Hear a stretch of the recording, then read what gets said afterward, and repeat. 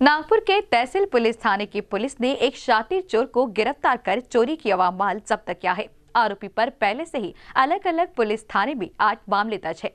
शिकायतकर्ता टकल सिंह सर्वे ने तहसील पुलिस थाना अंतर्गत श्रीहरि क्रिएशन प्राइवेट लिमिटेड के सामने भी अपने रिक्शा में दो कपड़ों के पार्सल रखे थे। वो तीसरा पार्सल लेने के लिए दुकान के अंदर गए। इसी बीच अज्ञात चोर ने रिक्शे में रखे पार्सल को चुरा लिया।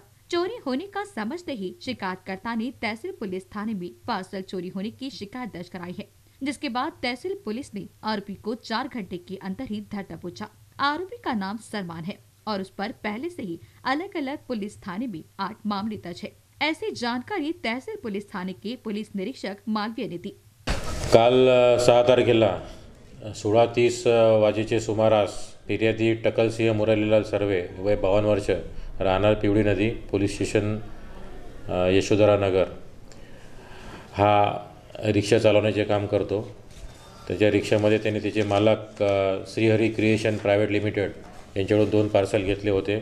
ते रिक्षामध्ये टाकले होते आणि तिसरं पार्सल घ्यायला तो दुकानामध्ये गेला होता. जेव्हा तो तिसरं पार्सल घेऊन बाहेर आला तेव्हा त्याचा रिक्षा आणि त्याच्यावरचे हे पार्सल ते त्याला चोरीला गेल्याचे आढळले. त्यांनी शोध घेतला असता मिळून आले नाही. पोलीस स्टेशन तहसील येथे त्यांनी फिर्याद दिली.